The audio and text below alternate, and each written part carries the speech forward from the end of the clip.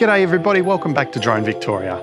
I'm down here at Kardinia Park Stadium in Geelong, about an hour's drive away from Melbourne, and home to the Geelong Cats Football Club in the Australian Football League. It's also a part time home for the cricket side, the Melbourne Renegades, in the Big Bash League, and in October 2020, it'll host three Group 1 games in the T20 World Cup. Let's take a closer look.